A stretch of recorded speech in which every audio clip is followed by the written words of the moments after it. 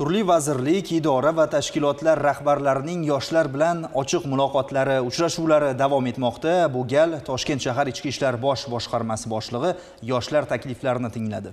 Ichki ishlar bosh boshqarmasi tomonidan yoshlar o'rtasida huquqbuzarlik va jinoyatchilikni oldini olishda olib borilayotgan profilaktik va amaliy ishlar haqida so'z yuritildi. Tadbirning savol javob qismida yoshlar va ularning ota onalari tomonidan o'zlarini qiynayotgan savollar va muammolar o'rtaga tashlandi. Shuningdek yoshlar tomonidan ichki ishlar organlariga ishga kirish uning tartiblari va nizomlari xususida ham savollar berib o'tildi. Savolim shundan iboratki e, professor inspektorning yordamchilariga hozirgi kunda qanday imtiyozlar bor?